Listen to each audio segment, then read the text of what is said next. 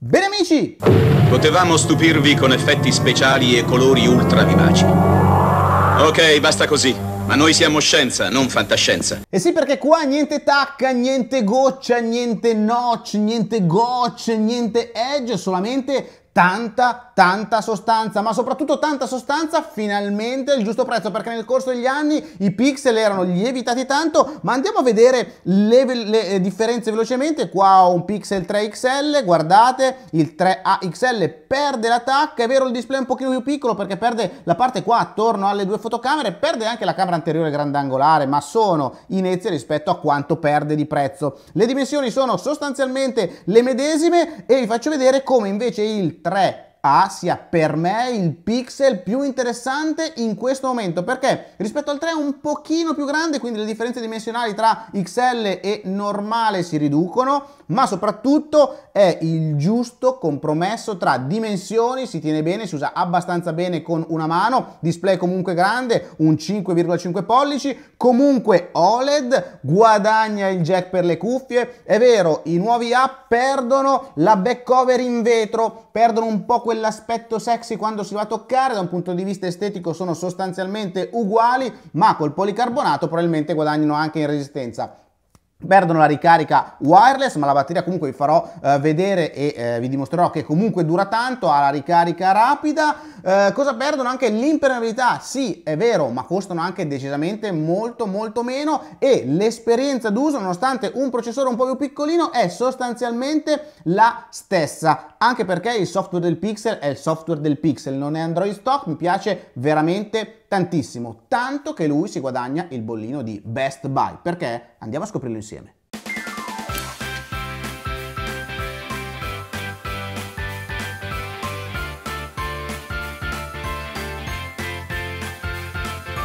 E partiamo dalla confezione, ovviamente per XL e A sono uguali, vi faccio vedere velocemente il telefono. Dotazione abbastanza ricca perché abbiamo il cavo tipo C tipo C, poi abbiamo l'adattatore OTG e per collegare anche delle chiavette USB, ma anche per trasferire i dati da un telefono all'altro. Le cuffie in ear con i gommini suonano bene, avete visto c'è il jack per le cuffie, poi l'alimentatore che è da 18 watt e carica il telefono il normale in in, che ha 15 watt di batteria in un'ora e un quarto, mentre l'XL lo carica circa in un'ora e mezza. Ecco qua l'XL, ecco qua là, ve lo faccio vedere anche, ve li faccio vedere le due finiture, vi dicevo prima policarbonato, però il design non cambia, parte opaca, parte lucida, mi piace il vezzo del bianco con il pulsantino accensione e spegnimento arancioni, eh, arancione scusate, ve lo sblocco, ecco, impronta digitale dietro, ma non c'è lo sblocco con il volto, la camera sporge un filino, esattamente come i vecchi, i vecchi Pixel, pixel, qua sotto il pulsante per uh, il volume e sotto c'è la Type-C, l'altoparlante che è stereo perché la capsula auricolare svolge il compito di secondo altoparlante. Qua l'ho un po' sporcato, qua invece c'è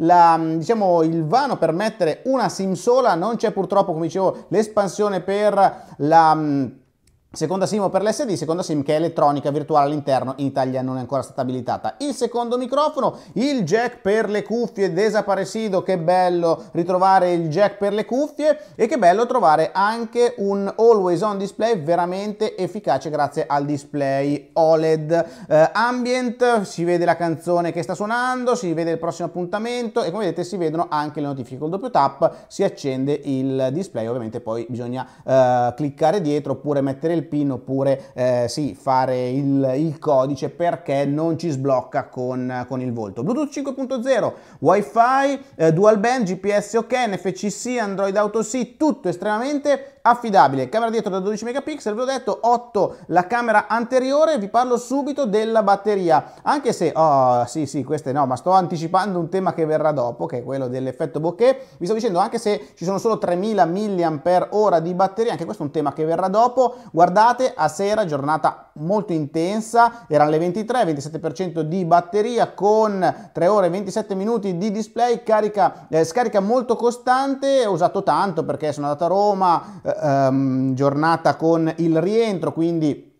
Uh, ho usato con uh, tanti cambicelle, Sky Goku per un'ora e 39 mentre cambiava celle, insomma uh, veramente usato tanto intensamente e non mi ha tradito, mentre l'XL sono arrivato a sera con circa il 30%, quindi se qua arrivo a sera con un 30% di batteria residua, qua ci arrivo con un 20%, ma entrambi riescono a fare la giornata grazie alla batteria adattiva, al fatto che non scaldano mai, il processore Snapdragon 670 è veloce e non è energivoro. E poi vi parlo del display, veramente una bella unità. Andiamo alla cartella di test, vi faccio vedere subito qua la palette colori. È un eh, OLED, è un Full HD Plus, entrambi. Eh, è vero, il Pixel 3 XL era un QHD, ma diciamoci la differenza non si nota per niente. Eh, non, allora, del 3 normale era Full HD, del eh, 3XL era QHD, qua invece sono entrambi Full HD, ma ripeto la differenza sinceramente eh, non la si nota, sono entrambi bei display, la luminosità eh, raggiunge gli 800 lux, non è il più luminoso ma comunque più che sufficiente per vederli sempre bene. E poi il sensore di luminosità funziona sempre bene, sempre affidabile, è quello che vi dicevo, sono dei telefoni molto affidabili, senza baghettini, senza problemini. Ovviamente il sistema operativo è Android 9, eh, la cosa che fa un po' strana è che se andiamo a vedere qua le patch sono di marzo 2019, non sono ancora arrivate le patch di eh, aprile, curioso, comunque sono i primi a, a ricevere comunque le release uh, principali, sono eh, tra i pochi telefoni che si possono flashare mm, in beta semplicemente con per esempio Android, um, Android Q.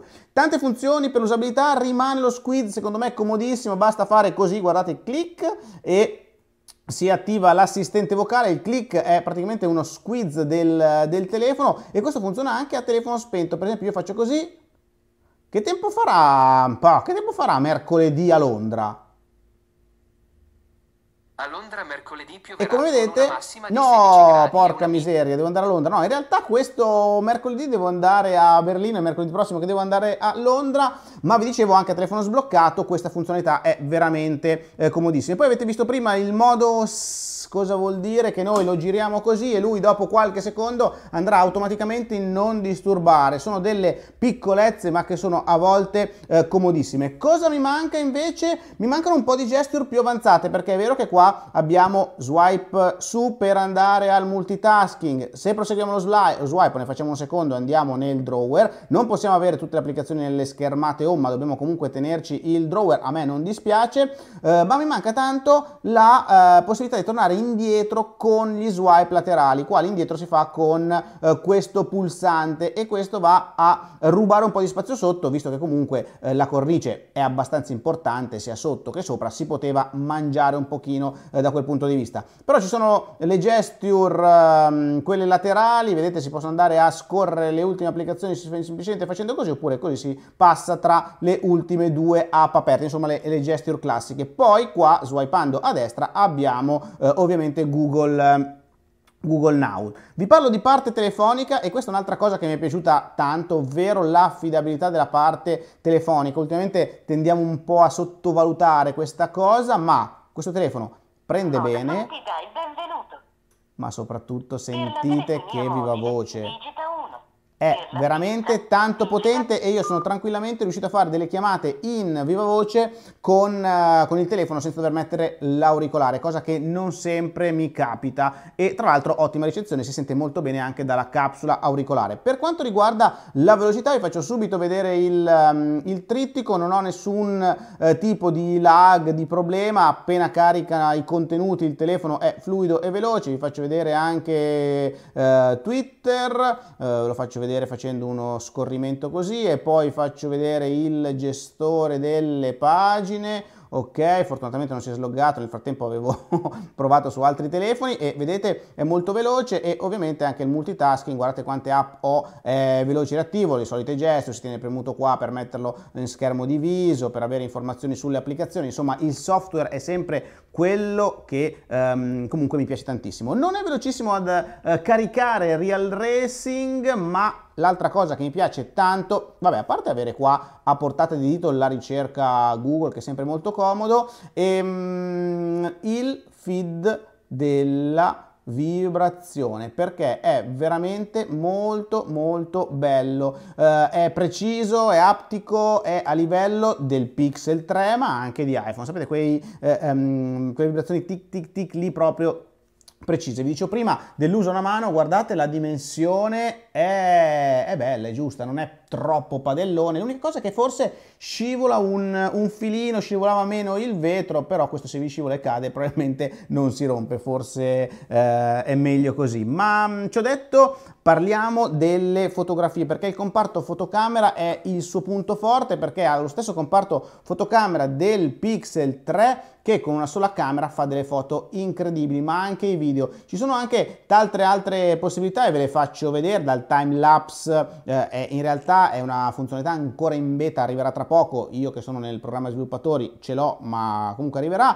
playground per la realtà aumentata, lens, eh, cogli l'attimo, insomma tutte le funzionalità di Pixel ci sono, i video vengono veramente molto bene stabilizzati, 60 frame per secondo la, mm, diciamo il frame rate massimo, modalità ritratto, anche qua con una sola foto fa degli ottimi modalità ritratto e anche le eh, foto panoramiche, ma poi, poi ve, le faccio, ve le faccio vedere perché ne ho scattate parecchie a Roma. Allora, eh, per cambiare la camera, altra cosa che mi piace, gesture, basta fare così e vedete si passa alla ciao camera anteriore, si fa così e si passa alla camera posteriore e poi non vi ho detto della foto notturna eh, che con la realtà, che con l'intelligenza artificiale, scusate, riesce a fare delle foto notturne veramente incredibili, incredibili. Ehm, niente, ovviamente la griglia, possibilità di attivare l'HDR Plus, di scattare in RAW, di eh, comprimere i video in H265 oltre che in H264. Qua vi faccio vedere la risoluzione delle foto, qua vi faccio vedere la risoluzione dei video fino al 4K. Ecco, al 4K si perde eh, la stabilizzazione, si perdono anche i, i 60 mm, frame per secondo,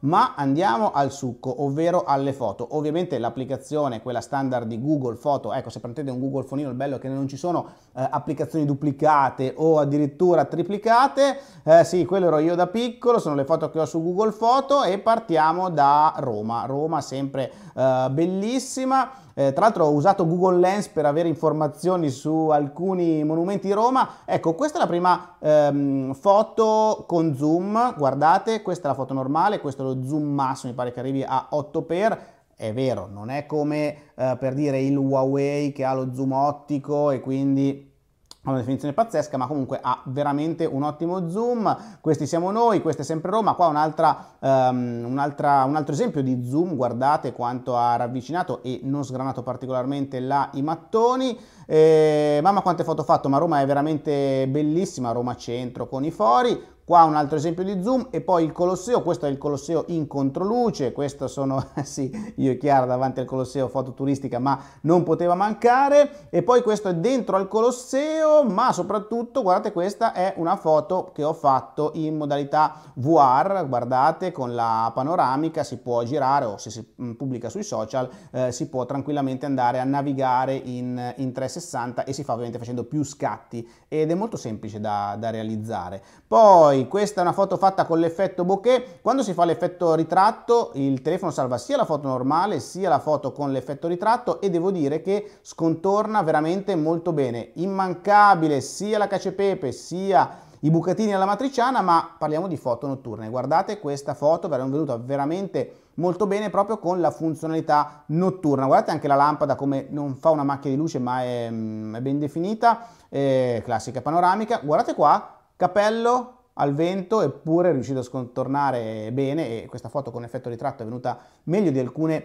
di alcune, a volte allora magari un passettino indietro, ci sono dei telefoni che hanno qua la terza camera o la seconda camera da 2 megapixel per l'effetto bokeh, assolutamente inutili perché scontornano molto peggio di questo telefono che ha solamente una camera. E poi qua un'altra foto fatta, questa non con modalità notturna, con modalità normale, punte e scatti, un ascensore buissimo e traballante, ragazzi guardate la scritta quanto è nitida, ma soprattutto i colori quanto sono fedeli, non tende al giallino, eh, bello, mi piace, le foto mi sono piaciute veramente tanto e mi sono piaciuti tanto anche i video, non vi metto qua un esempio perché, perché sarà un video particolare, è un play, vi consiglio di non perderlo perché, non so, la filosofia dei play sta un po' cambiando, voglio, insomma, voglio proseguire quel discorso che ho fatto con il ragazzo che eh, mi aveva aveva chiesto di regalare un telefono, non con quel ragazzo, ma mh, mm, beh, vabbè, lo vedrete, dai, basta, basta pipponi, almeno in questo video. Vi parlo dell'audio, ve l'avevo detto già prima in viva voce come si sentiva bene, ma adesso classica canzone Spotify, sentite